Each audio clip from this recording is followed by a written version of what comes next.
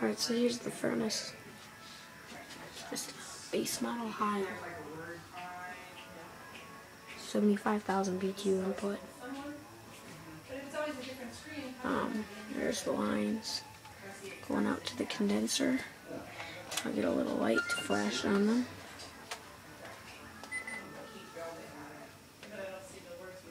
Lines, there's a condensate drain. Model which is E EDD2X3OBA2 from 2007. Um, I'll shine this into the furnace itself and you'll be able to see the data sheet. Draft inducer. You can barely see over there, but that says 75,000 BTU input. So, yep. Little view up there is a 40 gallon, 40,000 BTU A.O. Smith Pro Max. And the pipes meet up there. They go out.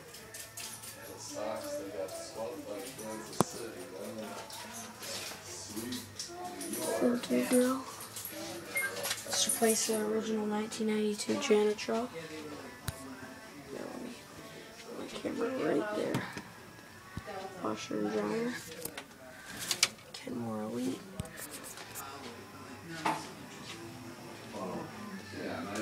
There's a vent under there.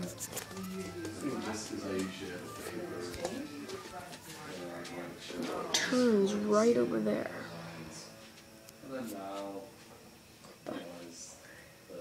Nice furnace. Then the lines again go up into the attic and then over through through the master bath and then through the walk-in closet on the other side of here and then through the master bath and then go down to the condenser.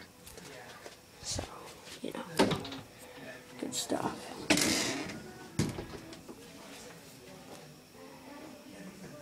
Alright, so,